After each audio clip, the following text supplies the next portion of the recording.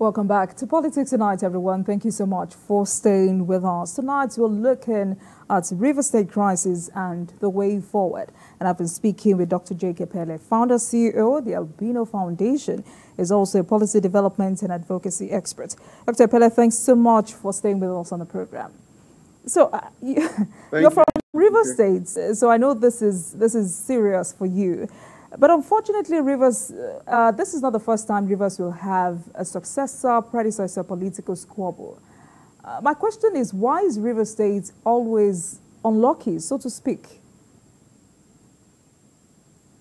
Well, I, I don't, I don't, um, I don't totally agree that we've been uh, unlucky. Every state goes through one uh, problem or, or, or the other. We have seen very brilliant, bright uh, leaders emerge uh, from River State and served, you know, in, in their capacity uh, with, with utmost integrity and, and with a high quality um, leadership skills.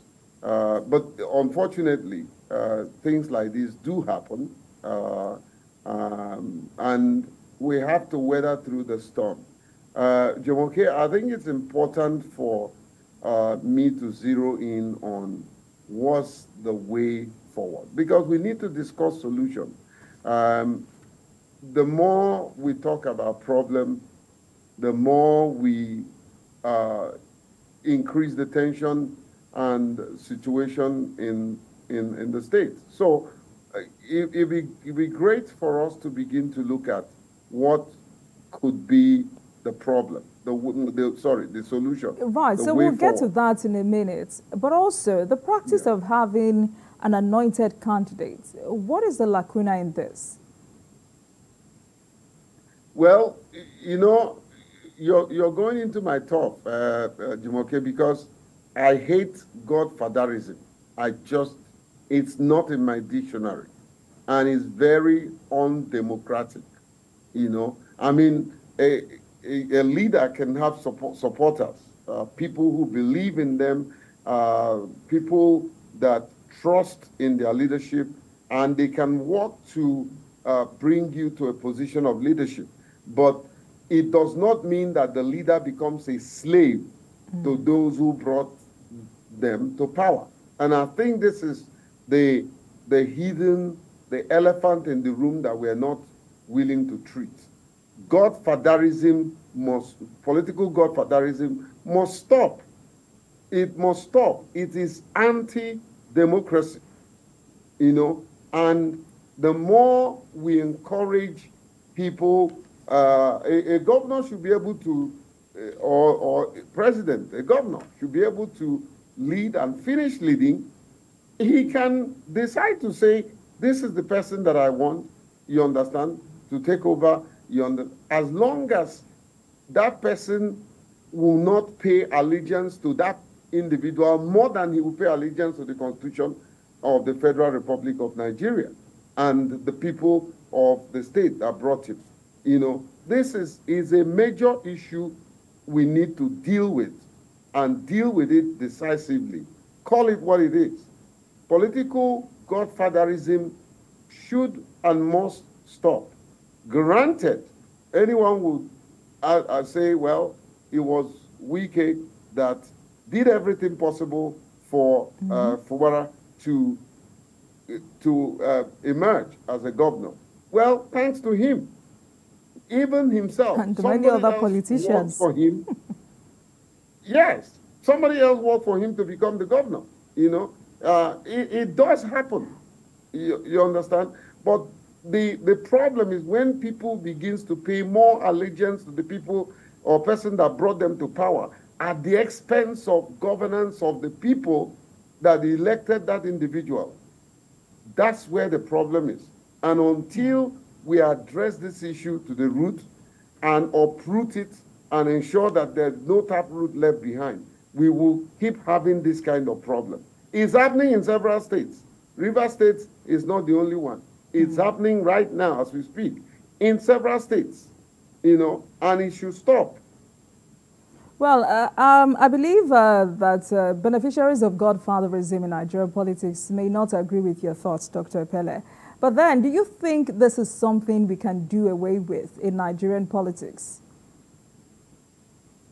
Jumoke, whether they agree with me or not uh, does not dismiss the truth, you know, and does not expose the ugly parts of that kind of practice, you know. Mm. Um, anyone can say, uh, well, it, it's a, an African thing, you understand? But globally, and if you follow the principle of democracy, you know, it does not promote um, a situation where an individual wants to perpetually be in power, and when he leaves, he's still ruling in absence, and he's still in control, and he has the power and the audacity to slap a sitting governor. He has the power and the audacity to determine who sees that governor and who does not see that governor. You know, he is far away away from the, uh, the seat of power, but he's the one sitting in power. It doesn't work. And it's not going to work. I think it's a delusional thing. The, the people practicing it lives in this delusion that um, I'm bringing my anointed candidate and he will always do what I say and tell him to do. Okay, wait until the lights of EFCC start investigating that ex-governor, throwing him into jail. The current governor should also go to jail with him. It's their godfather. It's his godfather. Is that the practice? If the former governor dies, the current governor should also die. That's godfatherism. If he's a very bad leader, the, the current governor should also be a, a bad leader. That's mm-hmm. godfatherism. If he's a violator of the Constitution, that current governor should also violate the Constitution. If his wife dies, his own wife should die. Is that the practice? As in all of this, uh, I mean, the camps of both men are not uh, completely helping matters here. Uh, either camps are blowing hot. what exactly should be the role of supporters in this uh, kinds of situation? Well, you know, you you you summed it, uh, and and kudos to to to you, uh, uh, Jumoke. Uh, you know, you're a trained journalist. Balancing your story is very important, and you have always done that. You know, I, I think, like I said, um, if both parties, it's not a, it's not even a question of if they are willing. You know, um, we must push for them to willingly take the path of honor and resolve this issue. Conflicts can be resolved even if it has underlying issues and what contributes to a, a state of insecurity. We can, we, can, we can look at it contextually and look at it from an expert, expert uh, um, uh, lenses. Analyzing the matter, the way forward is what we should go for. What is the way forward? How can we uh, deploy a known strategy that can give us results? And I think one of them, uh, uh, uh, Jumoke, is to sustain dialogue and reconciliation. We need to kickstart dialogue and sustain it until we achieve reconciliation. I can delve more uh, into this if, if, uh, if that's okay by you. Mm. But one would seek a permanent solution to this uh, political impasse. How can river states grow beyond this kind of politics and ensure a rancor-free succession? Well, one, by destroying this godfatherism fabric. Um, I think the time has come uh, for uh, for everyone who wants democracy to grow in the state to put it to rest. You know, um, two, it's also important that people are not desperate for power. Because in desperation, whatever you're told to do, you will agree. In desperation, you know. But when you're not desperate for power, there are certain condition that is given to you that you just look the person in the eye. I will not be able to fulfill this. Therefore, give it to somebody else. But unfortunately, oftentimes, you know, at that time, because you want to sit and be in the corridor of power, you're told, okay, once uh, you become governor, um, you will always send me money, maybe half of the state revenue. And you say, okay, well, once you become governor, mm. um, you must not go out to eat with your wife until I give you permission. You say, okay. If you're governor, your children must not go to toilet. You know, you say, okay. By the time you assume office, that person you made promise. It's often said that promises makes relationship. It's performance that keeps it.